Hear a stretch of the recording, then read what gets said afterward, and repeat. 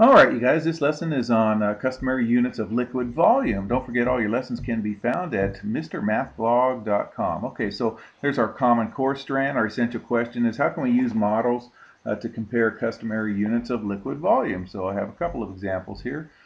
Uh, so here we go. So liquid volume is the same measure uh, of the space uh, that liquid occupies. So for example, if you had a glass, so uh, where you'd fill it up with water inside, that would be called your liquid volume your water inside. So some basic units for measuring liquid uh, volume are gallons, uh, half gallons, quarts, pints, and cups. Okay, so one cup equals eight fluid ounces. Okay, two, uh, one pint equals two cups right there.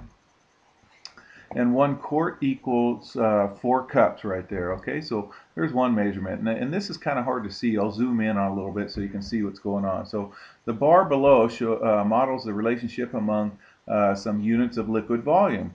The largest units are gallons and the smallest unit are fluid ounces. Okay, so 8 fluid ounces equals a cup.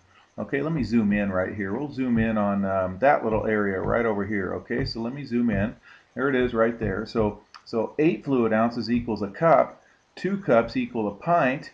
2 pints or 4 cups equals a quart. Okay, and then 2 quarts equals a half a gallon.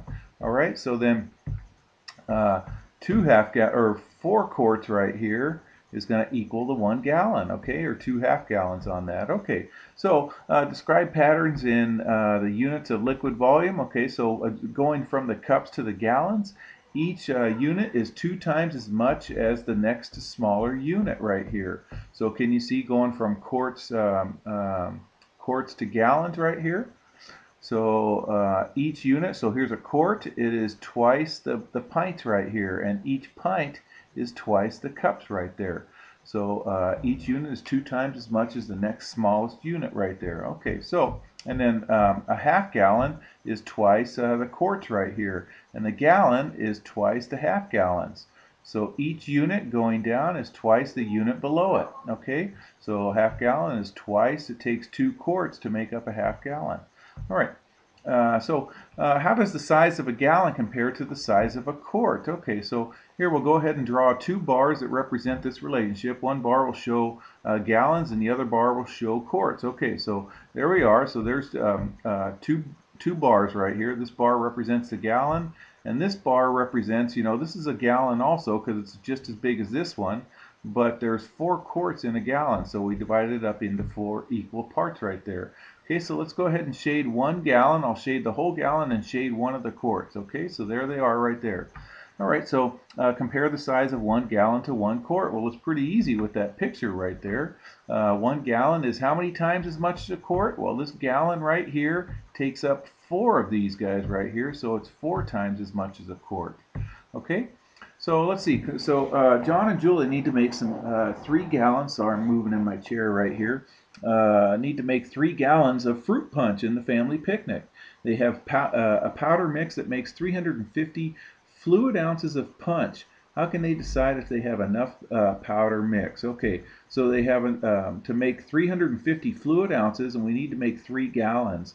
So we basically need to figure out how many fluid ounces are in the gallons here. So step one, we're going to use the model that we just uh, showed here to help us find the relationship between gallons and fluid ounces. Okay, so I just moved that up there. Here's that model right there. So we're going to uh, show the relationship between uh, gallons, which is this whole thing on top, and the fluid ounces that right down here. Okay, so here we go.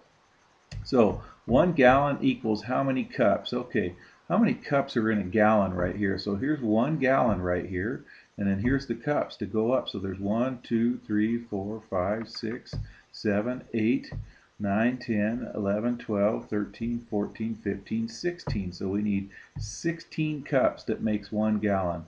And one gallon, or I'm sorry, one cup, how much does a cup make in fluid ounces? It equals 8 fluid ounces right there, okay? So one gallon is going to be 16 cups times 8 fluid ounces, and then 16 times uh, 8 is 128, okay? I know 8 times 8 is 64, so if I double that, because 16 is double 8, uh, double 64, we get 128 right there.